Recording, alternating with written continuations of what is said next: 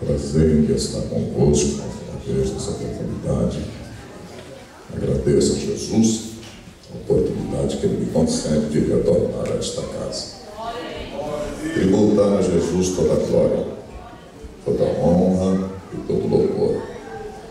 Jesus diz em João 15, 5, a parte C do versículo: Sem mim nada podereis fazer. A unção que está sobre o homem não é do homem. O poder com que o homem prega não é seu. A sabedoria do céu que está sobre o homem também não é do homem. Até a Bíblia que o homem usa para pregar. Esta capa é do homem. O papel é do homem. Mas as letras e a inspiração da Bíblia são de Deus. Tudo que está sobre o homem, apenas Deus lhe facultou por um período de tempo. Para que esse homem, enquanto viver, possa fazer a obra daquele pelo qual ele foi chamado e vocacionado.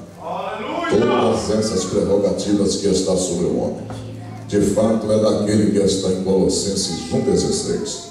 Tudo foi feito por ele, e para ele são todas as coisas seja tronos, principados, dominações, coisas visíveis ou invisíveis, tudo é por Ele e para Ele.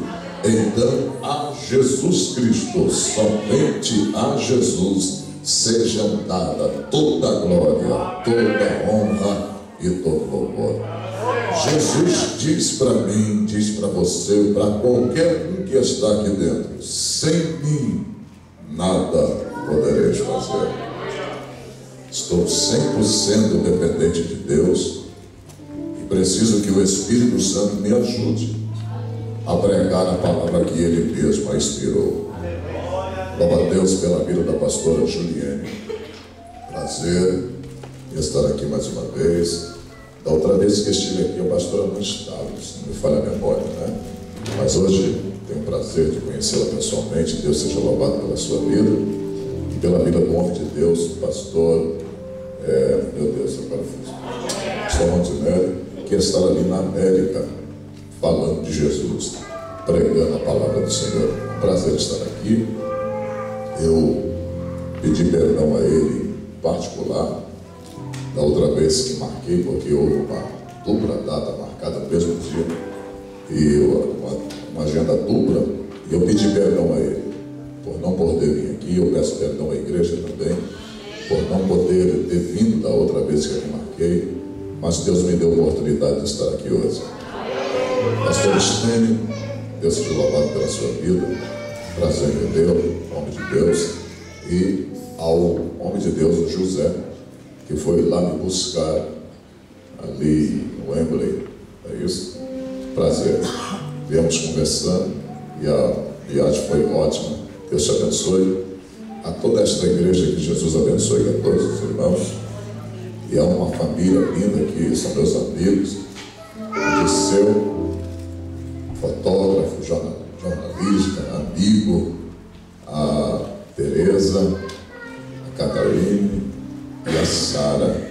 Uma bênção, né? Sara Frasson canta que é uma maravilha. Meu Deus, é power. Deus seja louvado por esta família e por todos. Olha, a gente entra em algumas igrejas e a gente sai dali, por incrível que pareça, chegamos cheios e parece que a gente está tanto que a gente sai vazio. Mas eu senti a presença de Deus aqui. De louvores altamente inspirados. E quem estava cantando também estava inspirado pelo Espírito de Deus, muito forte. Muito bom você chegar no lugar e você receber de Deus. Fiquemos de pé, irmãos. Eu trouxe a minha família, mas a minha família não pôde estar aqui hoje. Ela está ali. Minha filha também não está bem. A minha nenenzinha de um ano e três meses. Pegou uma virosezinha aqui e está ali com a desideria, vômito. Mas Deus me concedeu um sonho. Eu vim com a minha esposa e vim com as minhas, meu casal de filhos. E eles estão amando, irmãos. Deus é muito bom. Eu já tive aqui algumas vezes, não tive a oportunidade de trazer minha família, mas hoje Deus me concedeu de vir com a minha família. Eu estou muito feliz por estar com a minha família. Minha mulher que mais me apoia. Então eu sempre disse para ela, você um dia roeu o osso comigo. Hoje você vai que comer o filé. Eu me lembro, eu me lembro que quando. Espero que eu não esteja gravando. Está rolando? Então vou ficar quieto. Deixa quieto, depois eu falo em off. Abra sua Bíblia. Em Marcos 5, foi de Deus, pastor, esse aviso. Marcos 5.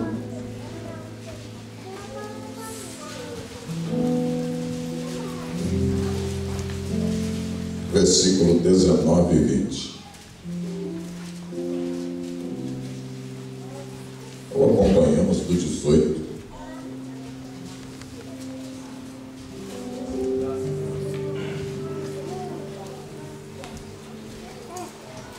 Só queria uma palavra aqui.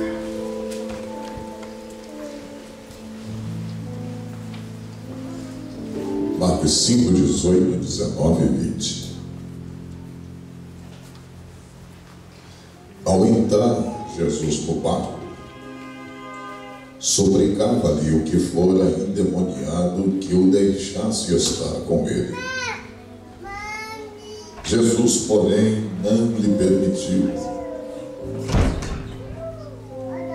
mas ordenou-lhe: Vai para a tua casa, para os teus, e anuncia-lhes o tudo que o Senhor te fez e como teve compaixão de ti.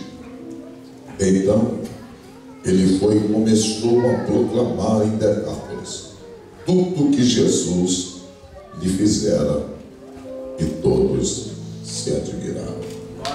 Versículo 19. Jesus, porém, não lhe permitiu, mas ordenou-lhe: Vai para a tua, vai para a tua e para os diga casa e Deus. Vamos seus assentos.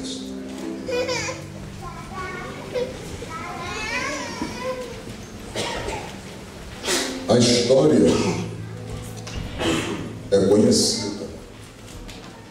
Eu fiz questão de começar pelo, pela libertação dele, porque mostra que este demoniado, ou agora são, ele não é alguém sozinho. Ele não é alguém desprovido de família. Ele é alguém que após Jesus impetrar a libertação, Jesus deixa, deixa claro que ele é portador de uma família.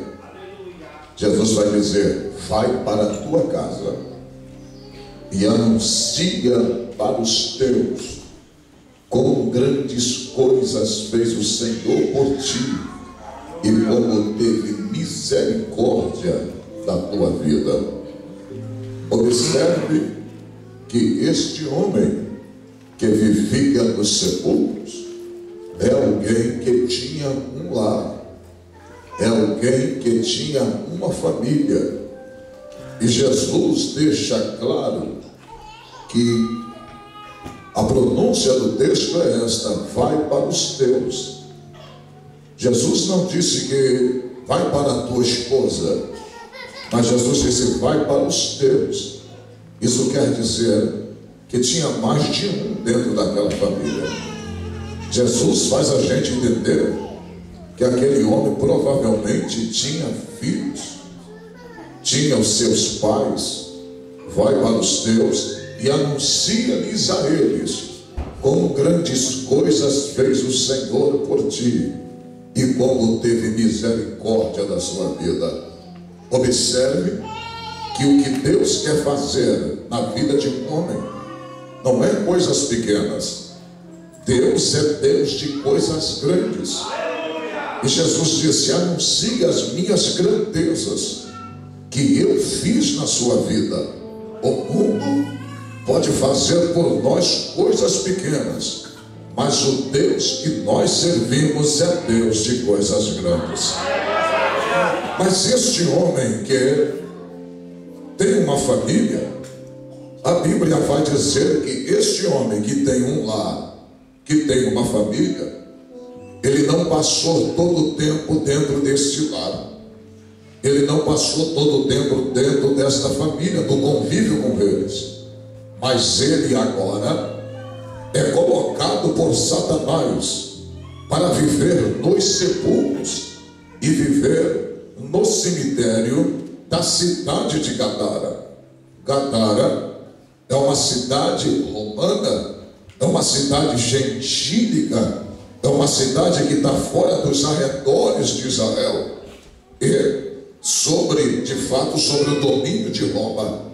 E este homem, a Bíblia vai dizer em Mateus que é a mesma, é o mesmo texto, só que Mateus narra que eram dois endemoniados e Marcos narra que é apenas um endemoniado. A verdade, se formos olhar o texto, vamos achar que a Bíblia está se contradizendo. Mas na verdade, talvez Marcos fala de um, porque Marcos vai dar vazão, Marcos vai dar mais atenção ao mais endemoniado dos dois, ao mais perverso pelo qual Satanás usava com mais veemência. Marcos vai ter a visão apenas desse, pelo qual se destacava mais. Mas a Bíblia vai mencionar que ninguém passava pelo caminho que este homem estava. Ele vai estar isolado, próximo do cemitério e próximo ao lixão de Gadara. Quando você estuda isso, você vai ver que tudo que os homens de Gadara não gostavam, eles mandavam para o lixo, porque o cemitério ficava próximo do lixão de Gadara. Ou seja, tudo aquilo que era detestável, tudo aquilo que não prestava para eles, eles mandavam para lá. E observe, olha para onde Satanás o leva. Satanás o leva para os sepulcros de Gadara. Repita comigo: sepulcros. A Bíblia vai dizer que ninguém se habilitava a passar por ali. Por quê? Todos que passavam por ali eram intimidados por este homem que estava possuído por espíritos malignos. E a Bíblia vai dizer que todos eram postos para correr, todos batiam em retirada, tamanho a fúria que existia dentro daquele homem. Aí a gente para para estudar e observa que este homem que agora estava morando nos sepulcros, a Bíblia diz que ele vivia ali clamando pelos montes de dia e de noite, ferindo-se com pedra. Este homem que vivia nos sepulcros era portador de uma família, era portador de um lar. Agora, a pergunta é: o que é que este homem fez?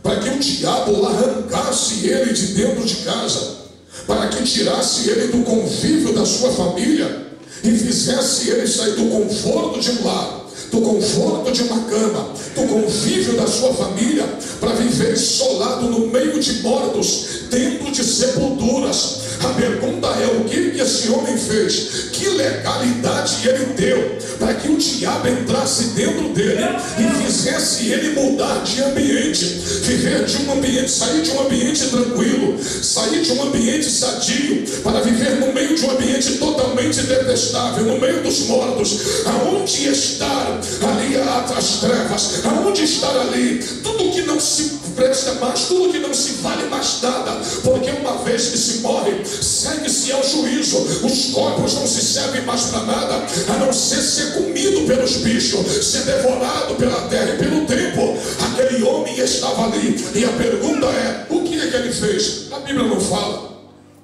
mas a Bíblia mostra o resultado da sua decisão. Porque se existe uma coisa que temos certeza, Satanás nunca vai atuar no meu corpo se eu não der legalidade. O diabo nunca vai atuar no seu corpo se você não der legalidade. O diabo nunca vai entrar na sua família se você não der legalidade. O diabo nunca vai entrar no seu casamento se você não der adversário não é o diabo. O meu maior adversário não é o mundo. O meu maior adversário é eu mesmo. Porque se eu não der vazão, o diabo não entra. Se você não der vazão, o diabo não entra. A Bíblia diz: resistir ao diabo, temer a Deus, e o diabo ó, fugirá de vós. Então, se eu não der brecha, o diabo não entra.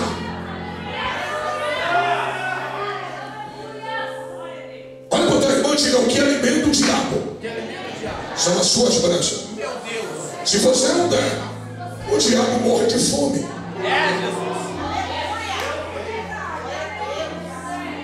O reino das trevas se alimenta das nossas brechas.